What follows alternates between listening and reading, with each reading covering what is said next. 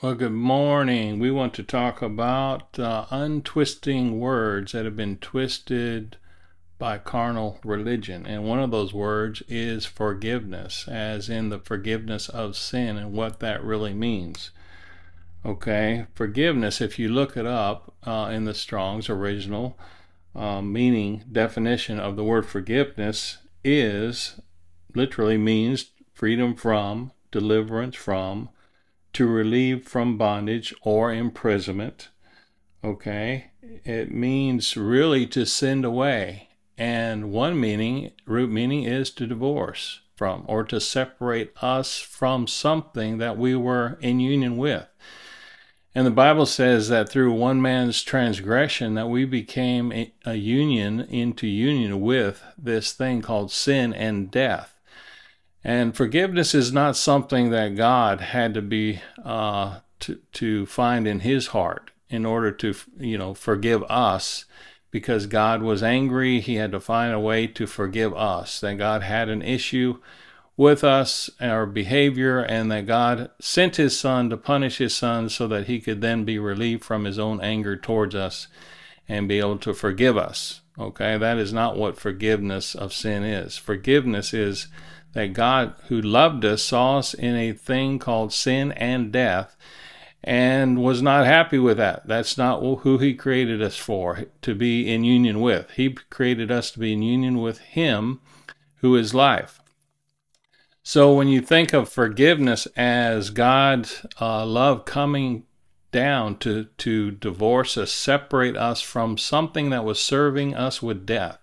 Bible says the wages of sin is death but the gift of God is eternal life through Jesus Christ. So we remember one day Jesus came and John saw him coming, walking along the Jordan, and he tells the crowd, Behold the Lamb that takes away the sin of the world. Well, take away the sin of the world is that Jesus came to forgive us of sin or to take away the sin that we were in union with that was serving us with death. Okay, so also in Psalm 103, it says this as far as uh, the east is from the west, so God has removed. Doesn't say it doesn't say that God uh, had to forgive us. He says, you know, God removed sin, which is really the more accurate meaning of forgiveness. That He removed it. He took it away. He removed our transgressions from us. Okay, so so also in Acts 13:38, Paul says this. He says that his call was to preach the forgiveness of sin. Okay, to declare the forgiveness of sin, okay? So he came to declare what Christ came to um, accomplish, and that was when Jesus died on the cross, okay, and he was raised a third day, that sin, okay, was forgiven for all. For all have been forgiven once and for all by the blood of Jesus. So the message is to the world that your sins have been removed as far as the east is from the west, okay? That is the declaration that we preach in order to persuade their heart to believe that God is for us, not against us. And really, now what can separate us from the love of God that's in Christ?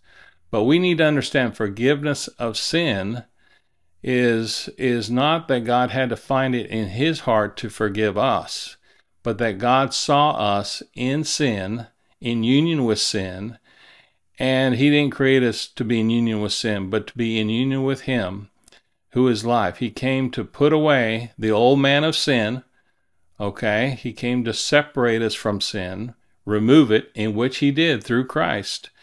And so now that we can be uh, in union, brought in perfect union with him who was raised from the dead. Okay? That's what forgiveness of sin really is.